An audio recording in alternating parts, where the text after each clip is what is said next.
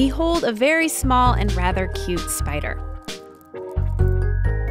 This is Clypeatus, a jumping spider. He doesn't spin webs. Instead, he uses silk as a lifeline, reeling it out as he hops from place to place. But right now, he's looking for a mate, the thread of a female spider that he can trace back to its source. Problem is, she may have other priorities. While he'll jump on pretty much anything that moves, she only mates once. She's picky. So he's going to make his case on the dance floor.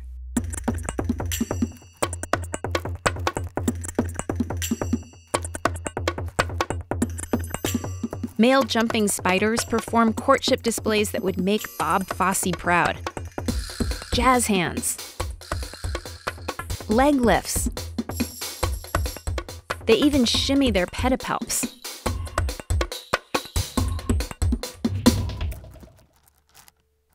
But he needs a soundtrack.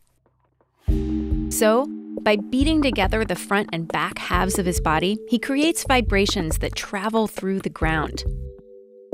This is what her ears look like tiny membranes stretched across slits in her legs. To study these jumping spider pulses, researchers at the University of California, Berkeley use a sophisticated laser vibrometer developed for quality testing cars and airplanes. It turns those vibrations into something we can hear. And guess what? It's a song. The first verse sounds like this a fast heartbeat thump, thump, thump, thump, thump, thump, thump, thump, thump. Then more thumping, followed by something new a boom. This is verse two.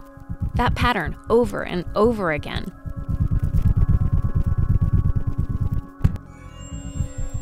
For verse 3, he adds a third element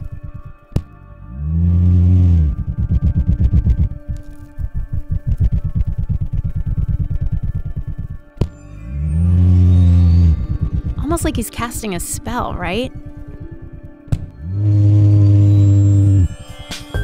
From species to species, and there are thousands of different jumping spiders, the songs vary. But one thing never changes. Male jumping spiders sing like their lives depend on it, because they do. She may mate with him, she might refuse, but she might just eat him instead. When the Berkeley scientists prevented the males from singing while they danced, the females were three times as likely to hunt them as prey.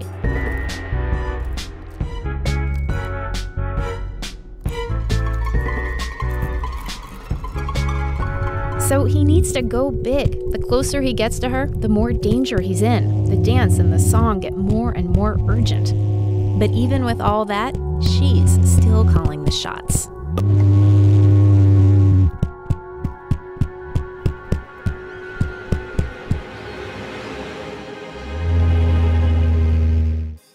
Hi, it's Amy.